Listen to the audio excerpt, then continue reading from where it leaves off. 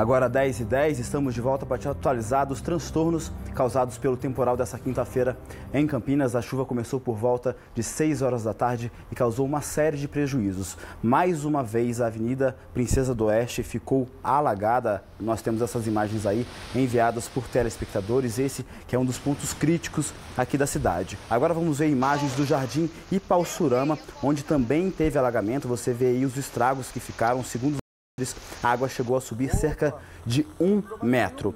Em Piracicaba, a chuva derrubou parte de um muro da escola Raquel de Queiroz, do Jardim Ieda. Olha só a força da água.